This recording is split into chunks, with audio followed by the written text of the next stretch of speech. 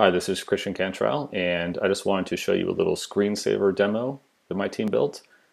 I run a team called Creative Squared inside of Adobe's web platform team, and our mandate is basically to build awesome apps and demos using modern web technologies.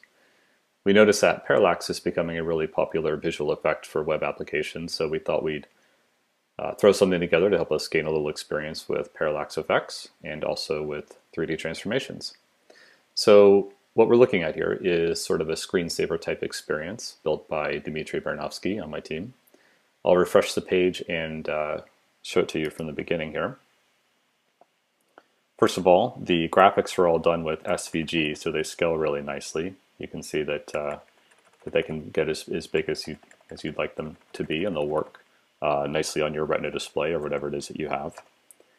You can choose from four different image sources, 500px, Instagram, Flickr, or Dribbble, and the application will just pull in the most popular images from each of the services. So they start to scroll vertically here, and you can see that uh, they're positioned such that they create this sort of parallax effect. Uh, after a set interval, then they'll start to rotate, but I can also use the arrow keys to rotate them manually. So I can rotate them in either direction here. I can also rotate them up and down, which is a pretty slick effect.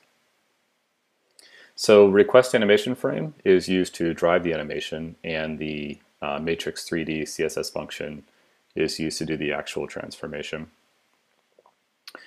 Uh, Dimitri put a fair bit of work into getting the animations really smooth and into uh, refining the rotation effects. So if you want to find out more about how it's done, uh, just check out the blog post. Also, all the code is available on GitHub, so as always, feel free to browse, clone, and or fork. So uh, thanks for watching.